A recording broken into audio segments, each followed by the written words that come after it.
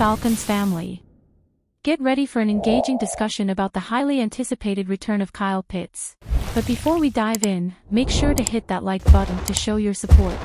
Now, let's get into it. We haven't seen Kyle Pitts since week 11 of the 2021 season, and it was a bitter moment for the Falcons and their former number 4 overall draft pick. Pitt's sophomore year was cut short due to a knee injury that required surgery to repair a torn MCL.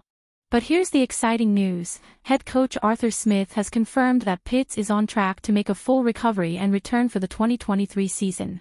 Now, CBS is calling this a make or break season for the talented tight end. So, what should we realistically expect from Pitts in 2023? The team's offense has evolved under different quarterbacks, which could undoubtedly impact Pitts' numbers. However, she sees this as an opportunity rather than a setback. Although Pitt's stats are down by half for 2022, some believe that injuries and a shift to a more run-focused offense played a significant role. Others point to the lack of chemistry between Pitts and former quarterback Marcus Mariota.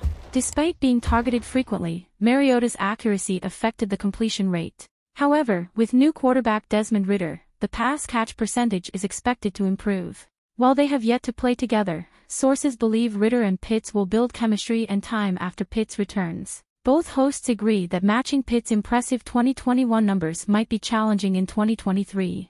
The Falcons' focus on a run-heavy offense and the presence of other reliable targets in the passing game contribute to this. However, they highlight Pitts' versatility and impact beyond just statistics. His value to the team goes beyond the numbers, as he can contribute to the run game and attract defensive attention, opening up opportunities for other playmakers.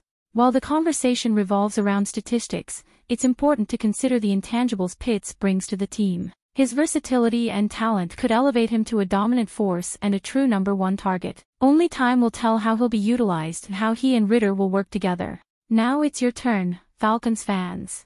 We want to hear your opinions in the comments below. What are your expectations for Kyle Pitts in the upcoming season? And if you enjoyed this video, make sure to subscribe to our channel, leave a like, and share it with your fellow Falcons enthusiasts. Stay tuned for more exciting updates and news. Rise up, go Falcons!